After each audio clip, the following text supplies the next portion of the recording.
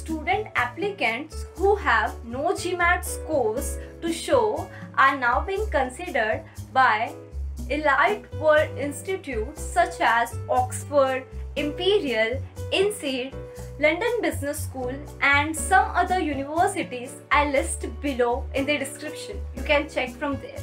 COVID-19 pandemic has forced several universities around the world to suspend their standardized testing requirements for the 2020 and spring 2021 entry while most universities don't expect students to take the GMAT some such as Oxford and LBS have said admission would be contingent on submission of the missing test score at a later date. Universities have also extended their deadlines for receiving applications in round 4.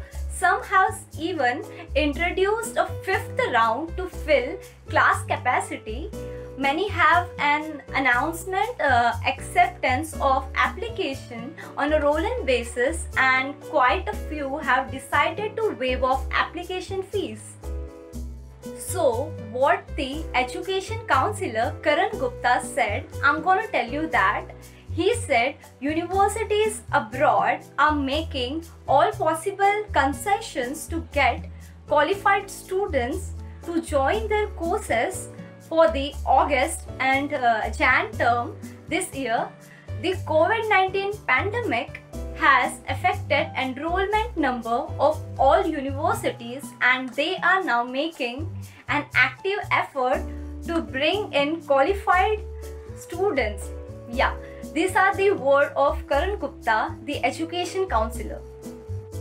Carey Business School has made changes to its MBA admission process to reflect the impact of COVID 19, Carey will accept incomplete applications for our round 3 deadline and will work with applicants individually to complete their applications.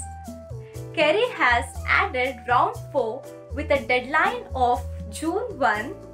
Following round 4, applications will be accepted on a roll-in basis through July 15.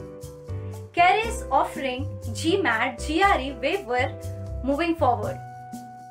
UC Berkeley is now admitting last year undergraduate students from its own university into MBA programs without GMAT or GRE or work experience an unprecedented move by a major top league university. Harvard Business School has been holding discussions about increasing the size for the 2021 incoming classes gives that many students will defer their acceptance and seek admission for next year. So, these are the top business schools not to insist on GMAT, some will even waive application fees. Okay, so that's all.